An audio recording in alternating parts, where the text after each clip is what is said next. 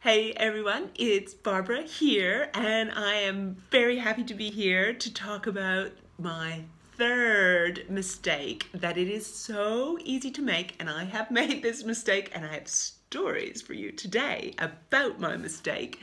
Um, third mistake that it's so easy to make when you're just starting out, and how to avoid it.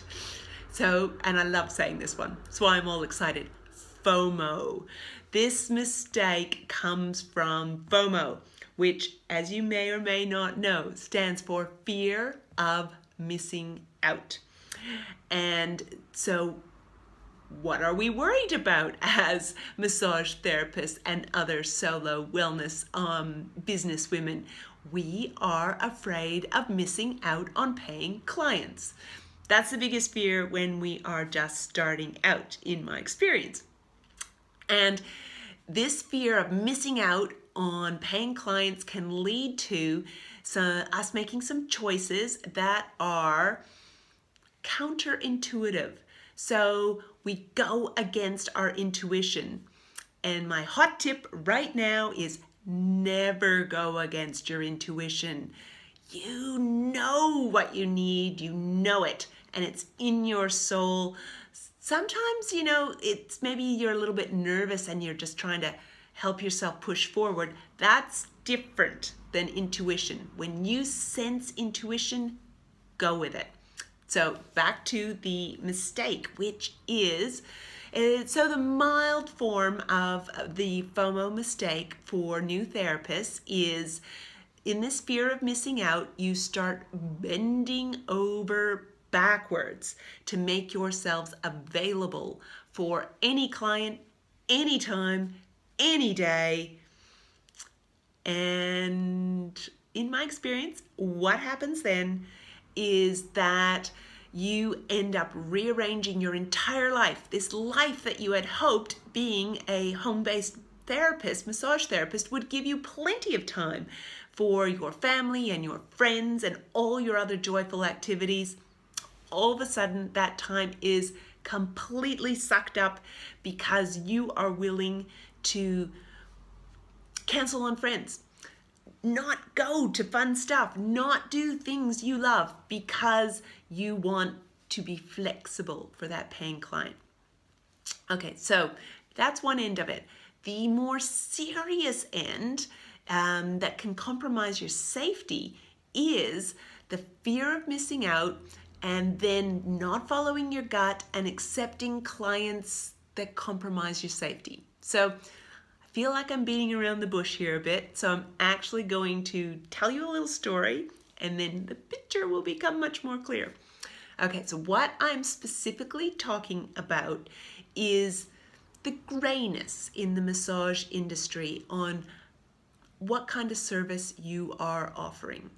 So if you are a massage therapist working from home that wants to have a therapeutic type practice, so that's a kind of therapist that I am. My practice is um, therapeutic and it's, you know, I do some postural assessment and people can claim on um, Medicare rebates, that kind of practice.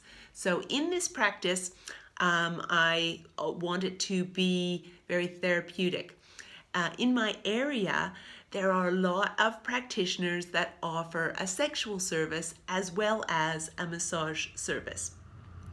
And for me, that's not what the service is that I am offering, and I like that to be very clear. And usually, when I follow my gut and stick to my boundaries and stick to my systems, no problem. So here's the fear is missing out story. Uh, so I've only had one, um, which is pretty good over 20 years, I must say, one negative experience along these lines. And it happened when, and this is, I've seen this happen for many women, so I am not alone in this happening. Friday afternoon, I've had a few people cancel last minute.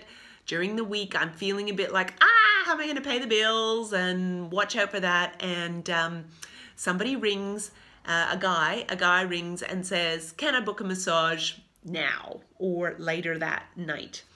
And um, I've gone and not followed my usual protocol. So I have a usual protocol which keeps me very safe and you know steers out all these clients that are looking for a different kind of service but I didn't follow it. I just went, yep, okay.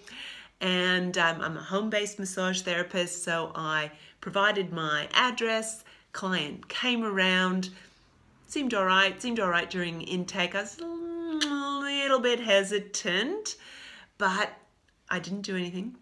So mm, the second you're hesitant, you know what's going on, you can get rid of them. Anyway, it, it, it's the story is fine because um, about halfway through the massage, the client requested a little extra. and I was a little bit dense on that, frankly, but I quickly realized what he was asking for, which was a hand job. And I was like, ah! And um, I had, uh, I just laughed. And it, this actually did not happen to me that many years ago. So I was already a very experienced therapist. So it can happen to anyone. Uh, anyway, I laughed and I just went, no. And that was the end of it. So this is a very happy ending story. I did not feel uh, at all unsafe and I didn't need to perform a service I had not intended to perform. Um, however, I was so uncomfortable and it was all because of FOMO, my fear of missing out and not following my gut. And now I that does not happen to me anymore because I have a completely different mindset. I'm really good with my boundaries and uh, this is a kind of thing that I just I think it's really important for us as women who work in a home-based business to share with each other and to share I mean, in my programs, I've got lots of strategies for making um, yourself feel very safe at in your practice and still be able to advertise wildly and attract the clients that are just right for you, the ones that make you just feel yes, this is the business. I love being in this business. Um, anyway, I'm going to wrap up this video. It's a little longer than the other ones. Hopefully you had a little bit of a laugh and a giggle um, at my expense and it's in the front of your mind. Fear of missing out. Follow your gut. Follow your gut. And I look forward to seeing you at the next video, number, ooh, let's count the fingers, number four, uh, which will be arriving soon. See you then.